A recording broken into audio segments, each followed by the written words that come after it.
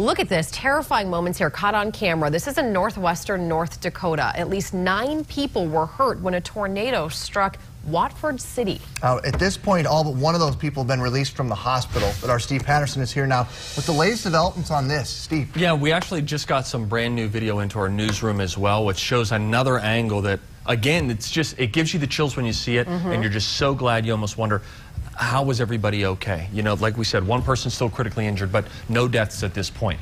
Uh, here's what we know is that this tore through basically a mining camp just south of Watford City. And so this is around a mining town in North Dakota. I do want to get right to this new video that we just got into our newsroom.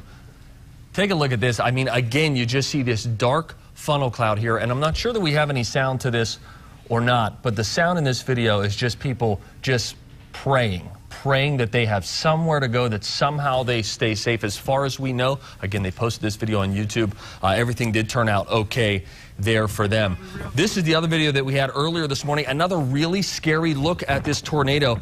And this, again, went through a camp. It's basically a makeshift trailer park where oil workers live in North Dakota.